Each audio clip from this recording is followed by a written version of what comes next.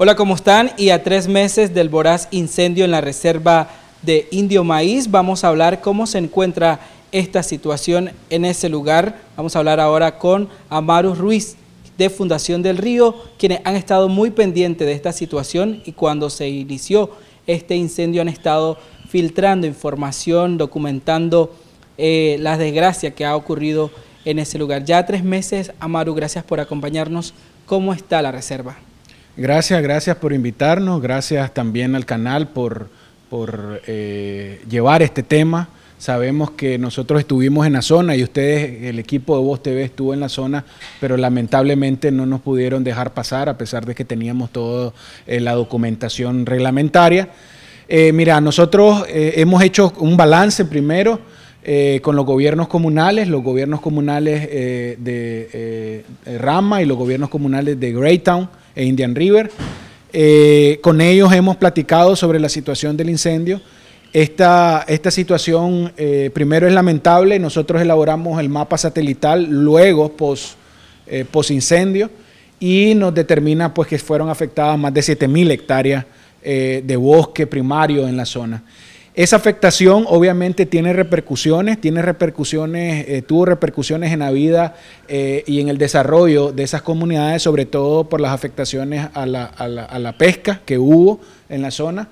Eh, para nosotros el tema y el problema del incendio no es, propiamente solo del incendio, sino es todo el proceso de invasión que hemos venido denunciando de población eh, colona que ha entrado a la reserva y que precisamente hace el cambio de uso de suelo y que deforesta eh, y que además eh, genera conatos de, fuego, lo que genera también mayor riesgo hacia la eh, vulneración de, la reserva, sobre todo de provocar incendios. Y eso es una problemática que lo hemos denunciado, que lo hemos denunciado ante las autoridades gubernamentales, ante las autoridades del ejército, ante las autoridades locales y nacionales. Sin embargo, no hemos tenido ninguna respuesta alrededor de esa situación y de cómo responder a ese avance de colonos dentro de la reserva.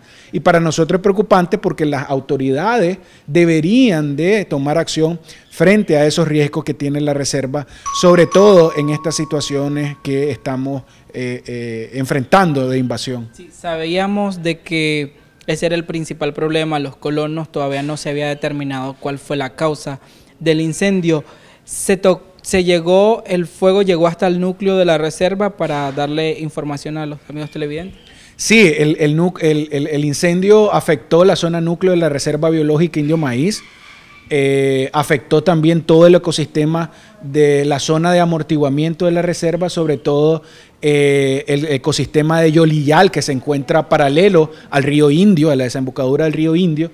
Eh, y precisamente esas son pues las afectaciones que hubieron tanto en la zona de, la reserva como en el refugio de vida silvestre Río San Juan, que es la cobertura o el espacio determinado que cubre en la zona núcleo de la Reserva Biológica Indio Maíz. Recordemos que en su conjunto la Reserva Biológica Indio Maíz forma parte de la Reserva de Biófera Río San Juan y precisamente eh, toda esa zona es considerada eh, por su importancia de la biodiversidad, pero también como eh, importancia por los servicios ecosistémicos que prevé ese bosque.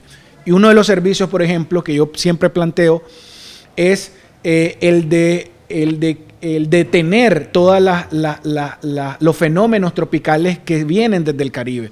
Por ejemplo, en el huracán Otto, la reserva biológica sirvió de contención a la intensidad del huracán Otto, que entró precisamente por esa zona y deterioró eh, parte de la reserva.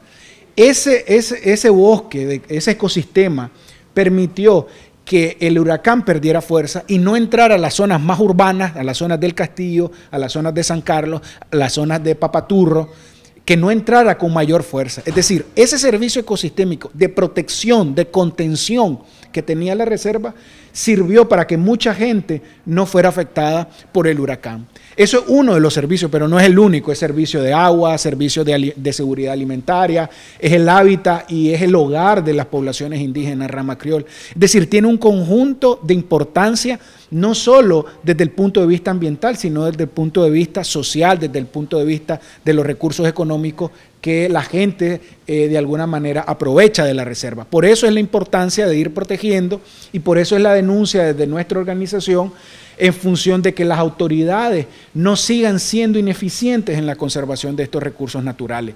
Este gobierno ha sido ineficiente en, la protección de los recursos naturales. Y esa es nuestra preocupación, precisamente porque no han hecho todas las acciones necesarias. Incluso de, cuando inició el huracán, nosotros fuimos eh, con los gobiernos comunales los primeros que denunciamos todo el incendio.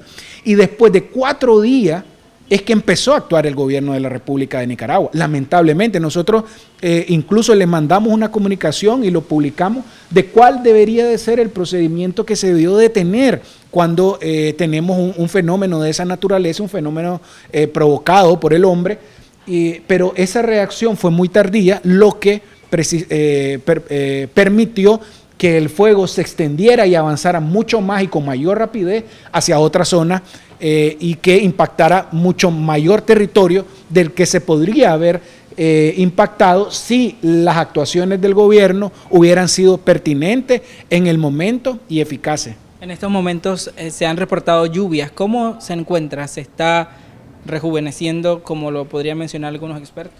Mira, primero, ese ecosistema es un ecosistema que, que que, eh, en, su, en, su, en su parte lacustre son suampos, es decir, son humedales. Ahorita con el invierno, lo que, eh, lo que hizo la propia naturaleza es que los niveles de agua subieron hacia ese ecosistema de Yolillal quemado, pero también hacia eh, la zona núcleo. Entonces, el, el agua subió de nivel y eso ha generado de alguna manera una estabilidad en la zona. Ahora, muchos de los árboles eh, eh, que son de madera dura, eh, de alguna manera están en proceso de regeneración natural. la acción ahí es primero no tocar, segundo sacar a las personas invasoras para, para disminuir cualquier riesgo en este próximo verano, porque nos acercamos ya el año que viene a un verano eh, donde bajan los niveles de agua y donde obviamente hay, hay mucho material ahí eh, que puede quedar y que puede generar eh, otro incendio, esperamos que no.